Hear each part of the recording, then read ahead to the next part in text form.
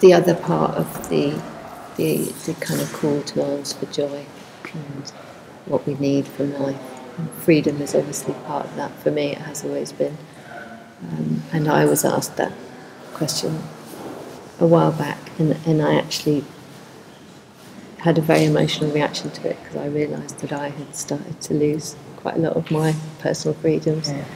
So I just thought it would be helpful to people to have that question around, and it's presented on a large kind of bed because I always think galleries are very uncomfortable and exhausting. So people can come and lie down and sleep and do what they like on it. It's a it's a roll out autonomous zone. Yeah. Feel free to do what you want on it.